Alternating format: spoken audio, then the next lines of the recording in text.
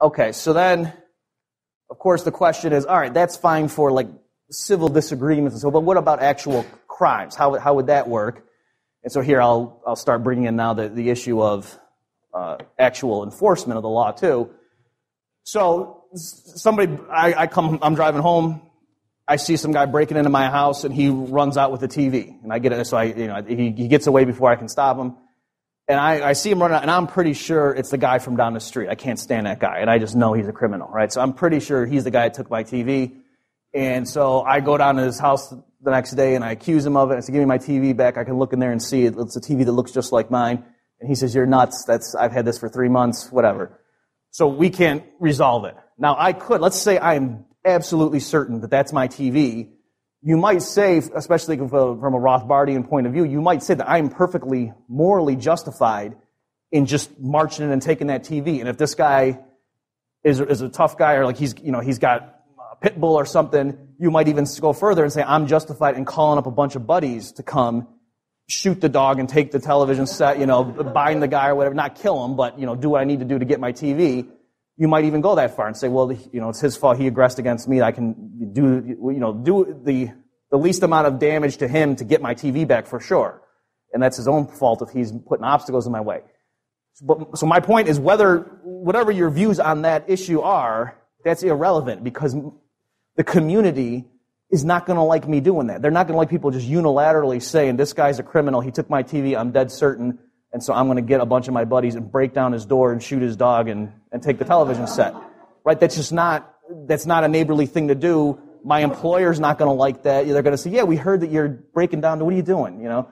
So you get the point that it's just not smart to do that. So rather than do that, I'm going to want to have a professional agency come to people that are trained. They might you know, have guys that are uh, you know, burly guys with uh, bulletproof stuff on and, you know, fl- uh, flak jackets and things, and like maybe the, the plastic stuff that the police use, the riots use, you know, so that they can be, and that they would have non-lethal means, like they would have nets and foam guns and stuff like that, or they wouldn't come in with guns blazing to get a TV, because that, that would be reckless. There would be no reason to escalate it to that level.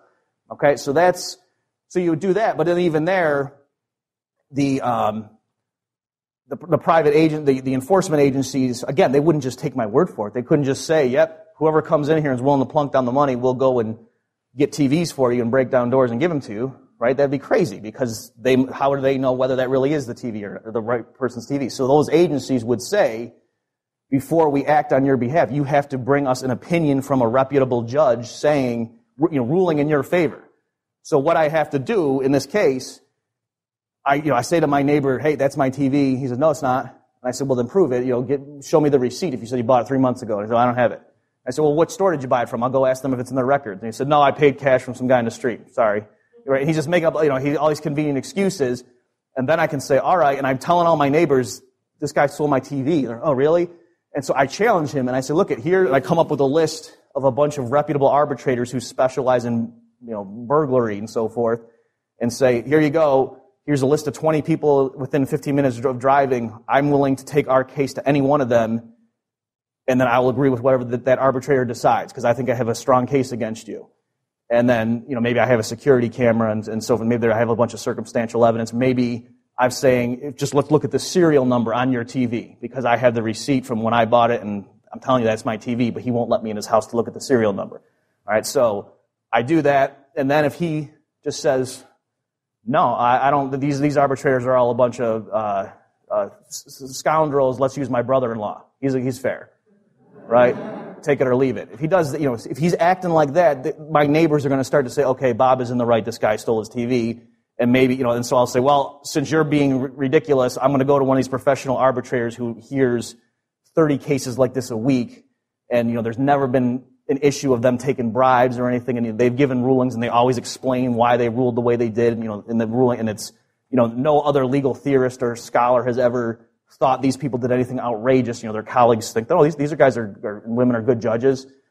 So I'm going to just pick one of them, since you're not being helpful here, and I'm going to take my case and we're going to try it, and if you don't show up, t- tough for you. And then that judge may decide that, okay, so the guy doesn't do that, and so I take it to some judge, reputable judge, and I, you know, I'll probably take it to somebody who's got a reputation for being really hard on, on criminals.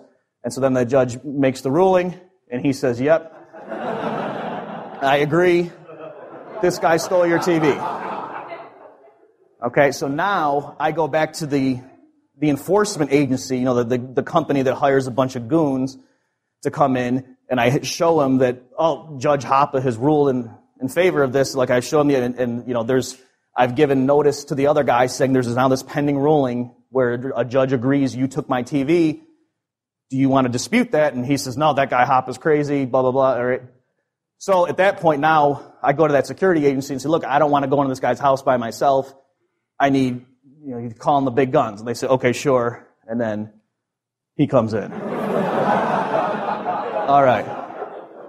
And he comes and gets the TV. All right. So you, you get the point, though, that what I'm getting at here is that I think you need to disentangle the issue of who, dis, how is it decided that there has been a crime or not, and then once that's an issue and there's no doubt. So the community's not going to think that, that Guido is, is a criminal. They're not going to look at him going into a house and put, coming out with a TV and saying, oh my gosh, he's a criminal. Because for one thing, he's going to be doing it in broad daylight.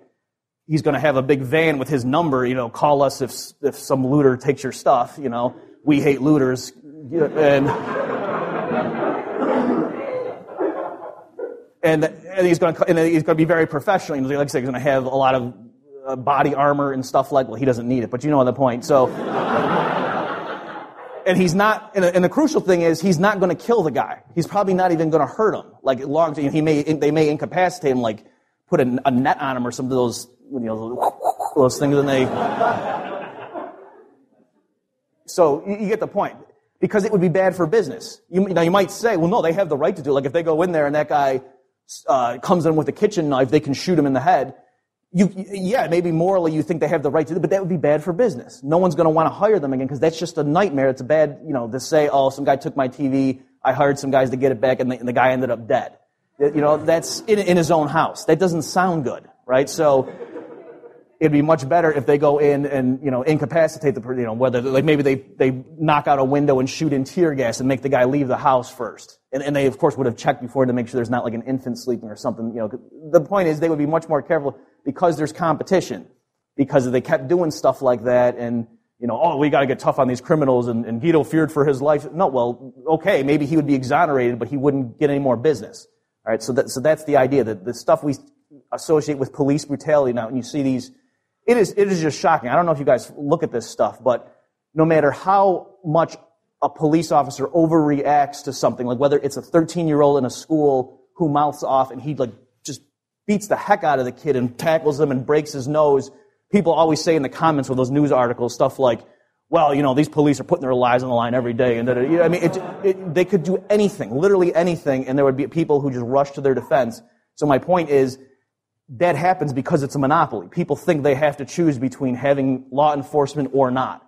And then, well, if we have to have it, then yeah, sometimes people, they overreact and whatever, but that's just the cost of living in a society of laws. And no, it's not. That's the cost of living in a society with one group that has a monopoly on law enforcement. Okay, uh, let me just take a minute talking about this interesting question. Would there be prisons in a free society?